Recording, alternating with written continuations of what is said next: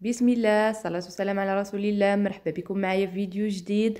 غادي نديرو فيه جوج حشوات اللي مختلفين كل اختلاف على بعضياتهم لا من ناحية المذاق ولا من ناحية المكونات. هاد الحشوتين رائعين ولداد. يمكن لكم ديروهم في البريوات في البطبوط آه، الكيش وبالنسبة حتى لي شوسون. يعني استعملوهم في أي آه، وصفة اللي كتحتاج الحشوات بالنسبة للمقادير غنبدأ معكم مقادير الحشوة الأولى اللي غنحتاجو فيها 150 غرام ديال الكفتة. آه غادي نحتاج آه فلافل. أنا خديت الفلفلة آه النوع الأحمر والأخضر. آه نتوما استعملوا اللي توفر ما عندكم. آه غادي نشويها وغادي نقطعها على هذا الشكل. عندي جوج معالق كبار ديال القزبور ومعدنوس عندي 50 غرام ديال الجبن مبشور. بصلة متوسطة مقطعة قطع صغيرة. بالنسبة للتوابل غنحتاج الملح والإبزار سكنجبير تحميره والكمون وزيت الزيتون باش غادي نقلي البصل ديالي. غادي نمشيو للحشوة الثانية آه اللي المكونات ديالها بسيطة. غادي نحتاجو البيض آه أنا خديت ربعة الحبات ديال البيض 50 غرام ديال الجبن مبشور جوج معالق كبار ديال القزبور ومعدنوس. بالنسبة للتوابل عندي سكنجبير الخرقوم الكمون والإبزار. زيت الزيتون غنحتاجها باش نقلي البصل آه هنا غتحتاج واحد البصلة متوسطة مقطعة قطع صغيرة. أنا نسيت ما ضفتهاش لكم هنا في الوصفة مباشرة ولكن غادي تلقاو المقادير في صندوق الوصف كيف ما ديما. آه بالنسبة غنبداو بالحشوه الأولى. آه، اللي خديت معكم في الأول هي اللي غادي نوريكم الطريقة ديال التحضير ديالها دابا. غادي ناخذوا آه، مقلاة ولا طيفال اللي غادي نكونوا درنا فيها آه، زيت الزيتون وغادي نوضعوا فيها البصل ديالنا وغادي ننتظروا حتى يتقلى معنا ويدبال شوية. من بعد من بعد غادي نضيفوا الكفته. أنا توفرت عندي كانت عندي في المجمد نتوما الا عندكم آه، طريه استعملوها.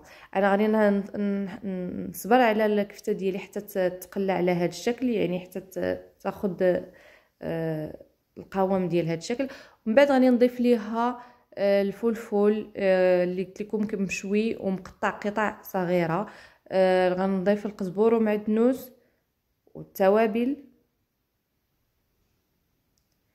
على هذا الشكل غادي نقلي آه، الحشوة على آه، الحشوة كاملة آه، حتى تاخذ هذا القوام. من بعد غادي نحتفظ بها جانبا وناخذ الحشوة الثانية في مقلاة اللي درت فيها بصل بصلة متوسطة مقطعة قطع صغيرة غادي تقلى مع زيت الزيتون على هذا الشكل حتى كتدبل غادي نضيف لها التوابل والقزبور ومعدنوس وغنستمر في التحريك.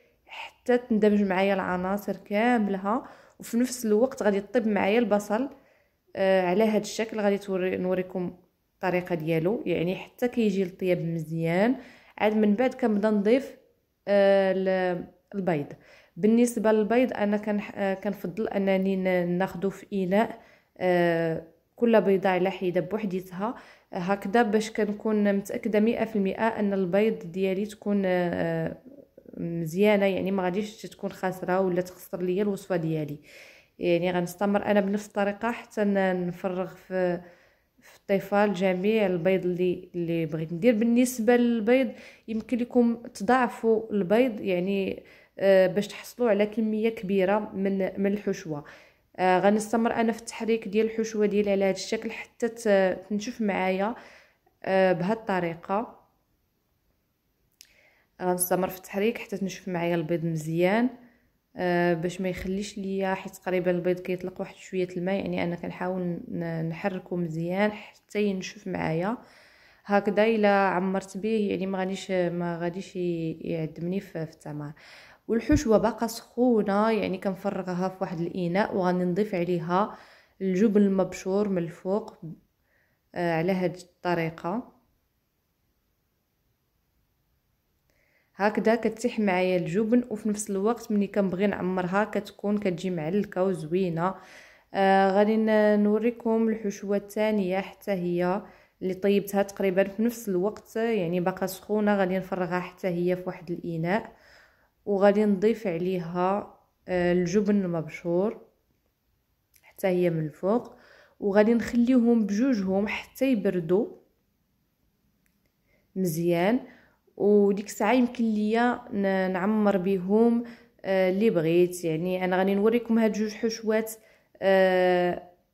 الطريقة آه، اللي عمرت بهم البريوات والبطبوط. أنا غادي نوريكم الطريقة من بعد. يعني هنايا غادي ندير أنا الجبن وباقا الحشوه هي سخونة.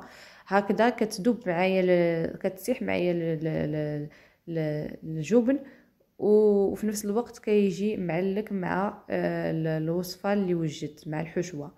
يعني أنا غنخليهم يبردوا على جنب.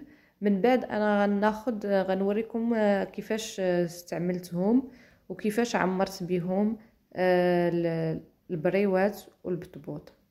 بالنسبة لهاد الحشوات زعما الصراحه كيجيو لذاذين وزوينين آه والمذاق كيجي بيناتهم مختلف. آه بزاف. يعني إلا بغيتو ديروهم مع بعضياتكم كيجيو آه، زعما كيعطيو واحد المذاق اللي هو لذيذ بالنسبة للحشوة ديال البيض أنا عمرت بها البريوات.